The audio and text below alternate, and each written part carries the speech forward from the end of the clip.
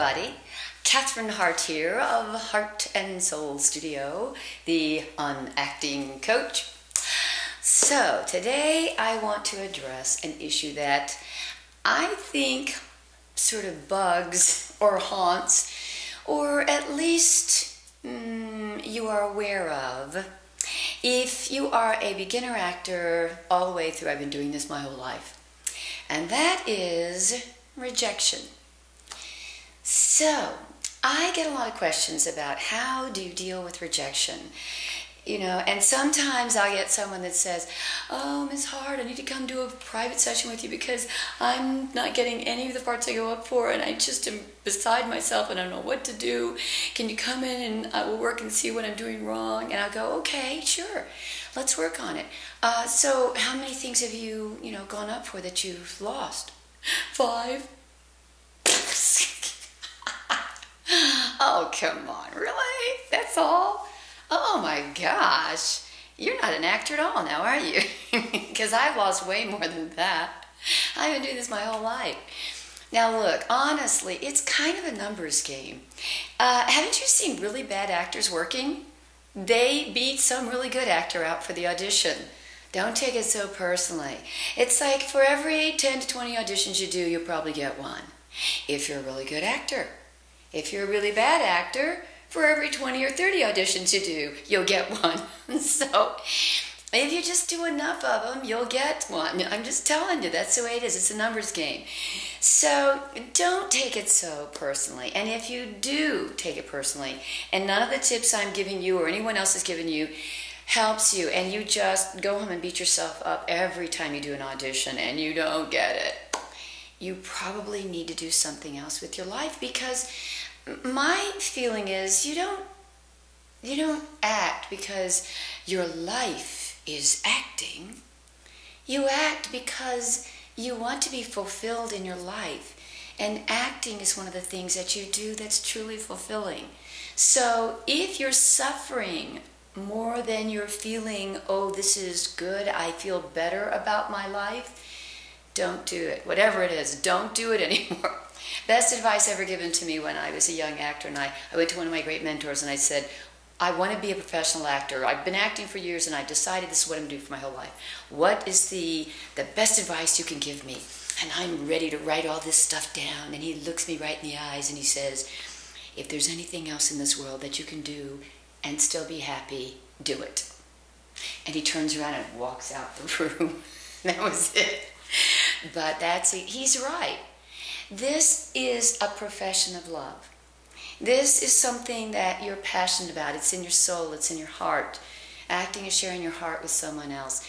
That's what it's about. It's not about getting rich and famous. It's not about, you know, superficially going like, I'm on TV. I know some people do it for that. I just wish you wouldn't. Because it, there is something magical inside of a great actor and that is truly what we're buying. We're buying the magic inside of you. And if you get upset every time you go in for an audition, you lose it, you put that little light out a little bit more. You don't trust to turn it on the next time you go in because maybe they didn't like it. Come on. It, look, everybody's in a different mood when you go in there. Hey, you go into an audition and uh, you look just like the director's ex wife that he just divorced you ain't getting the part, no matter how good you are. You look like his cute daughter he loves, you're probably getting it, even if you stink. It's, it's like, you know, these are people. They're making decisions based on the moment. Like when you go shopping. Hey, you go and you find, ooh, I found like 10 shirts. I love all these shirts. And they're just, oh my gosh, I can't tell which one do I want the most. Okay, well, I don't want that one. I don't want that one. That's too small. That's too red. And then you narrow it down to five. And you go like, oh my gosh I look them. I, they're all great. And somebody walks by and goes, "Oh, that's a cute shirt. Okay, that's the one I'm taking." or I was like, um, "I got to make up my mind, and I like them all right." And oh, there's something I don't know. That one, that one has a little button on it. I like. okay, I'll take that one. Well, that's how they cast you.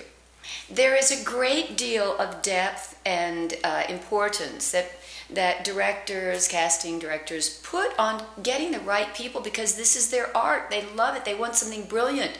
And then along with that is also a little bit of mm, something on the wind that day. So don't take it to heart if you don't get something. And remember, every one of these casting directors and directors are hiring all the time. That's what they do for a living. So if they didn't choose you for one thing, it doesn't mean they didn't like you. They they're going to come in. You started getting a track record with them, and they remember, oh, you were really good at that audition that you didn't get. Yeah, that's it. It doesn't matter. Hey, well, look, there's there's a ton of things that can happen. I actually have a great anecdote I tell in my classes. Uh, I have a friend that is a casting director, and a number of years ago, she thought she found the next superstar, or the first person she ever really discovered that was going to be amazing. She talks the director into taking a look at him, even though he's not right for the lead in the movie. But she says, "This guy is so amazing, you're going to want to use him."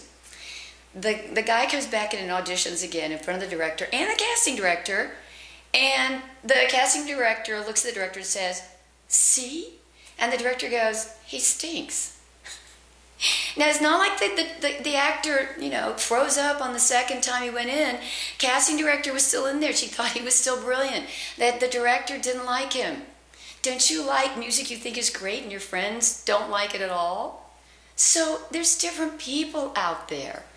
And uh, like my sister, Morgan Fairchild, one of the stories I always tell is when she first went to New York, she got turned down over 200 times. It was more like 225, 27 times.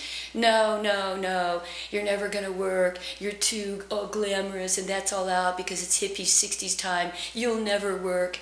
And then she gets a job. They hired her not because she was. They wanted her. They hired her because she could remember the lines, and they needed her to hold to, to fill in temporarily. You know, for a for a space for for a girl that hired on a daytime soap opera. They couldn't remember the words. They hired Morgan for the week, and then they're going to fire her. And at the end of the week, they didn't fire her because they got so many fan letters. And two weeks later, casting calls in New York were Morgan Fairchild lookalikes, and people to look like her.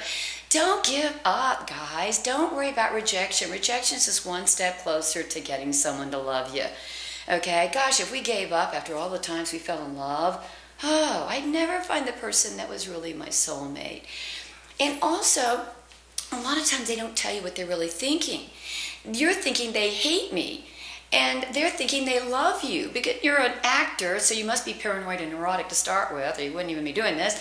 You're thinking they hate you, they don't. They actually love you. And you find out six months later they give you the part, and you thought, I, really? I thought you hated me. No, we loved you. We, we, we loved you the second we saw you.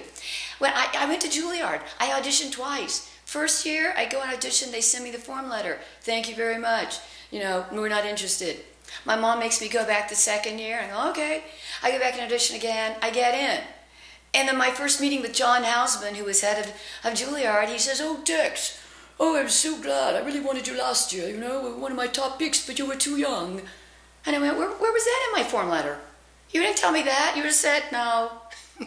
I had no earthly idea. What if I never went back? I didn't know he liked me. So stop beating yourselves up. You're going to do the worst audition in the world that you've ever done, and they're going to hire you on the spot. And you're going to do the greatest audition, and they're not going to. And you'll never know what they're thinking, and don't even try to get in their heads. Would you want someone to try to get into yours? Ha! I know you don't want to get in mine. Okay, you know that too. So just lighten up on yourself and just keep telling yourself, this is my moment. I love acting. It's a game. Someone has to watch me act when I go into this audition.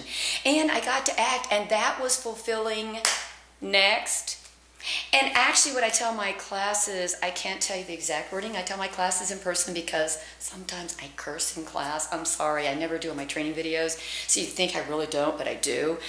Anyway, I say, when you go for an audition, you always say, What the F? I'm just going to amuse myself and party down and have a good time. Fill that room with your world, your happiness, your joy, your character. Create that. Change the space around you so it's yours. You own it. And you suck them in and you share that moment with them because you just love sharing your heart with another person. And that's what you love doing. Thank you. I'm done. Bye. And I'm not saying I don't want it. I'm not saying my heart doesn't get broken when I don't get one, but only for that long. Because if it stays broken, I won't be able to turn my light on for the next one. So keep your, it's all mind over matter, guys. Just keep telling yourself, next. I personally do a spiritual lesson every time I do an audition. So maybe I didn't get it because the person that auditioned, that got it, wanted it just as much as I did. And I have to learn how to be as happy for another person as I would be for myself. Tough lesson but one to worth learning, okay? So make it about doing something you love and know that eventually you'll get it. Work hard, show up prepared. Don't just go in there and wing it and not be and just you know like oh I don't know why I'm getting not getting anything. I never train. I never get any better. I never really want it. I didn't really try. I was just kind of doing it because I want to be rich and famous. Well guess what? You don't deserve to win the audition. I hope you don't get it because someone else should get it instead of you. But if you're training if you work if you love it if you prepare if you give everything you can and you go in there hey and then let go of it all when you go in there. You can't want it when you go in there because if you want it, they smell it. Mm-mm, you won't get it. Go in there like, I don't really care. I'm going to have a good time. I'm going to party. I'm just going to do something I love. Play a game. Light up that room because someone's going to want you. And you know that. Hey, don't you buy lottery tickets? Someone's got to win. Go in there. Just have a great time. Do it because you love it. And then just enjoy the day something will happen. It always does. Keep faith.